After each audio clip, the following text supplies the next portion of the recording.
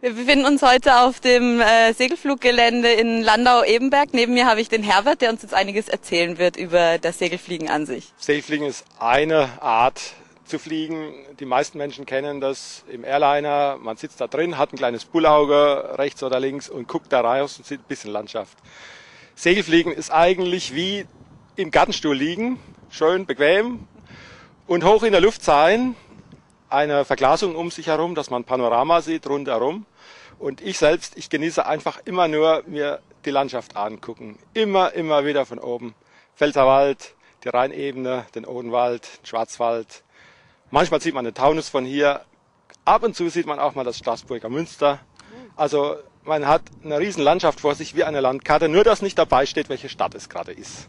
Oder welcher Fluss oder welcher Berg da ist. Das ist halt Segelfliegen für mich fliegen, rausgucken, die Welt anschauen, wie der liebe Gott von oben.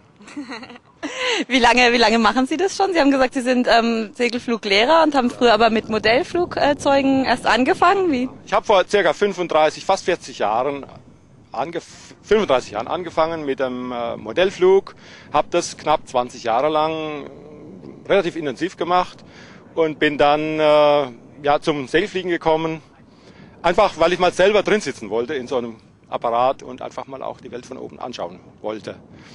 Und das habe ich vor 20 Jahren angefangen, damals als Flugschüler, so wie unsere Flugschüler jetzt hier auch. Und habe dann vor etwa zwölf Jahren den Fluglehrerprüfung abgelegt und bin seitdem als Fluglehrer immer mal wieder tätig. Und zwar alles ehrenamtlich, das heißt, ich kriege da kein großes Gehalt dafür oder so, sondern ich darf kostenlos mitfliegen mit meinen Flugschülern. Okay, kostenlos. Aber haben Sie dann auch ein eigenes ähm, Segelflugzeug oder wie, wie wird das finanziert? Wer, wer, wem gehören diese Segelflugzeuge hier? Die Segelflugzeuge hier gehören jetzt mal abgesehen von den ganzen Meisterschaftsflugzeugen, die hier sind. Äh, wir haben zwar zwei, drei oder vier private Flugzeuge auch hier am Platz, aber ich selbst fliege nur auf Vereinsflugzeugen oder, Vereins oder Flugzeugen, die ich mir mieten oder leihen kann. Wenn ich mal allein sein will, dann nehme ich mir gern so ein einsitziges Flugzeug. Zum Beispiel auch das hier, obwohl es ein ganz uralt, urtümliches altes Gerät ist. Äh, manchmal habe ich einen Gast, der mitfliegen will, ja, dann brauche ich ein doppelsitziges, sowas ja. wie das hier. Oder ich habe noch mehr Gäste und will wohin fliegen, dann nehme ich mir halt sowas wie das Motorflugzeug da hinten und setze mich da rein und fliege damit. Wie viele Leute, wie viele Leute passen da rein in dieses große da Motor? ein Pilot und drei Mitflieger rein. Und dieses Gerät hier, das ist aus, ist es aus den 50er Jahren oder was ist es genau ist für ein Gerät? Konstruktion von, äh, wie hieß der denn wieder, äh, Kaiser mit Familienname, äh, ich glaube Alexander. Der Kaiser war ein Konstrukteur, der hatte Segelfliegen noch in der Weimarer Zeit und im Dritten Reich gelernt und hatte sich aber schon früh mit Konstruktionen beschäftigt, hat vieles selber gebaut, was er geflogen hat und ist dann irgendwann als Konstrukteur bei Alexander Schleicher Segelflugzeugwerke hat er gearbeitet. Und äh, ist wahrscheinlich der Konstrukteur, der die meisten Segelflugzeuge in seinem Leben entwickelt hat. Er ist vor etwa zehn Jahren verstorben mit knapp 90 Jahren und hatte noch weit ins Pension, übers Pensionsalter hinaus Segelflugzeuge entwickelt. Ich glaube, das hier war sein zweit- oder drittletztes. Okay. Der hat also angefangen mit Holzkonstruktionen noch vor dem Weltkrieg ja. und hat noch die ersten Kunststoffflugzeuge mitentwickelt. Also der hat da, da war er schon im Pensionsalter. Da war er also schon über 65. Und was bei diesem Flugzeug jetzt so genial ist, ist, es ist super einfach zu fliegen. Es hat zwei Sitze. Das heißt, hinten kann auch ein Fluglehrer mitfliegen. Mhm und es ist einfach gutmütig, super einfach und hat trotzdem gute Flugleistungen. Gutmütig, das hört sich an wie ein Pferd. Ja, das ist auch so. Also auch ein Segelflugzeug. Es gibt hervorragende Segelflugzeuge, die, die wahnsinnig gute Flugleistungen haben, aber einfach bockig sind und kritisch und womit man, wenn man wirklich mal eine Dummheit macht, auch einfach vom Himmel fallen könnte. Und ein Flugschüler könnte so, so ein Gerät wie hier einfach ohne weiteres, das macht er ohne weiteres fliegen? Ja, ja, ja, klar. Also unsere Flugschüler Schule normalerweise auf so einem Gerät äh, etwa 50 Starts, manchmal sind es auch 70, manchmal sind es auch nur 30. Das hängt von der Fitness, wie, wie, wie schnell der das lernt, ab. Dann darf er alleine fliegen, dann macht er normalerweise etwa 10 Starts auf dem Gerät nochmal. Und dann ist das nächste ist dieses hier, das ist die K8. Ah, K8 ist das, Typenbezeichnung. Und ganz anderes Gerät eigentlich, kann man nicht mehr doppelsitzig mitfliegen. Das heißt, ja. dann muss er wirklich ganz alleine. Erster Start, noch nie in so einem Ding gesessen, noch nie mit Fluglehrer Aha. geflogen.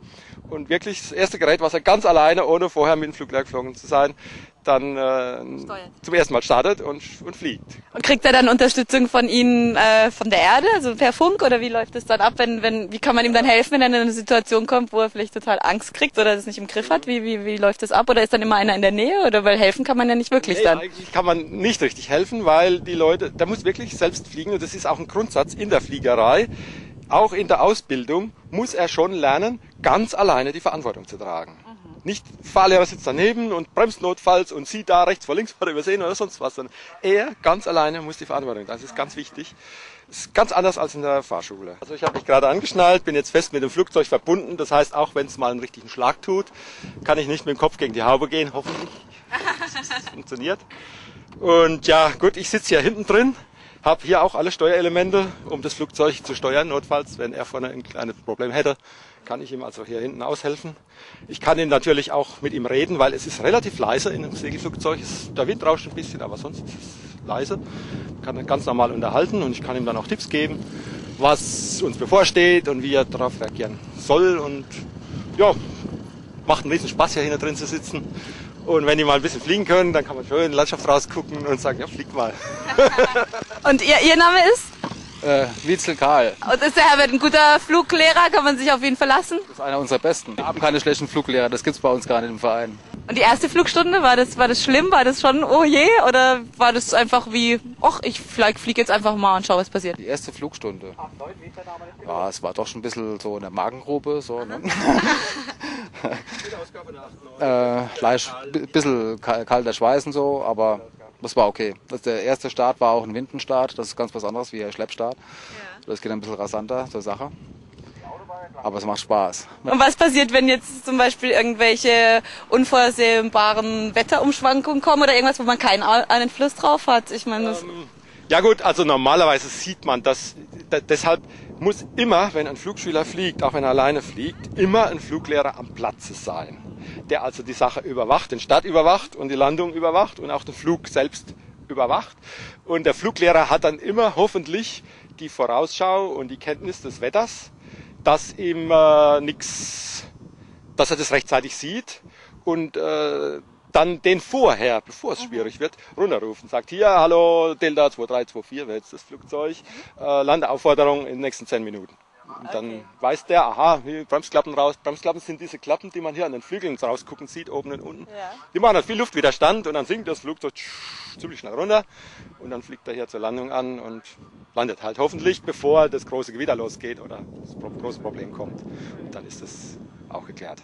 Und gab es schon so einen Quacksbruchpilot oder irgendwas hier auf, der, auf dem Gelände schon mal irgendwie sowas passiert, wo so sehr heikel war? Also ich habe schon ein paar Brüche gesehen. Aber ich muss dazu sagen, die meisten passieren nicht den Flugschülern und nicht in der Ausbildung, weil wir da sehr stark Daumen drauf haben und sehen, was los ist. Probleme gibt es oft bei eigentlich erfahrenen Piloten. Die, die beobachtet man natürlich auch nicht mehr so pingelig, ja, und die fliegen auf eigene Verantwortung, wie einer auch, wenn ein Auto steigt, guckt man auch nicht so streng hin, ob der da alles richtig macht. Und dann plötzlich sind sie aber in einer Situation, mit der sie vorher nicht gerechnet haben oder kennen das Flugzeug nicht gut genug. Musste zum Glück noch keine Verletzten irgendwie vom Platz schaffen lassen und so. Also das ist aber einfach auch Glück. Also das ja. kann ich nicht, das kann ich nicht mir zuschreiben, sondern es ist Glück. Und trägt man dann auch Fallschirme oder wie ist ja. es? Also wir tragen eigentlich immer, in Segelflugzeugen immer Fallschirme. Das hängt einfach damit zusammen, dass man ganz clever die Sitze in den Flugzeugen so ausgelegt hat, dass da hinten im Rücken so eine kleine Wanne zusätzlich in der Sitzlehne eingebaut ist, wo genau der Fallschirm reinpasst, den man so als Rucksack auf dem Rücken trägt. Und wenn man jetzt ohne Fallschirm fliegt, müsste man dann Kissen reinstecken und das würde nicht richtig festhalten und so und wäre nichts Gescheites. Und deshalb zieht man dann einfach einen Fallschirm an, dann hat man gleich sein Kissen dabei und alles ist okay. Und damit hat man einfach automatisch immer den Rettungsfallschirm dabei. Haben Sie schon mal den Fallschirm benutzen müssen? Nein. Also es gibt einen Grundsatz und zwar aus einem Flugzeug, was noch funktioniert, werde ich nicht springen. Wenn ich jetzt im Pfälzerwald dahinter in einem Tal wäre, wo ich sage, oh scheiße, da ist kein Flugplatz in der Nähe, ich muss da jetzt in den Wald rein. Ich komme nicht mehr da weg, ich, ich sink da runter und ja. muss da in den Wald rein. Dann könnte ich mir vorstellen, dass ich dann sagen würde, in 300 Meter Höhe, sage, okay, da unten ist irgend so eine Lichtung oder irgend so was, ja da werfe ich jetzt die Haube ab und springe einfach aus der Kiste raus, ziehe einen Schirm und sag lieber mit dem Schirm da unten rein als mit dem Flugzeug.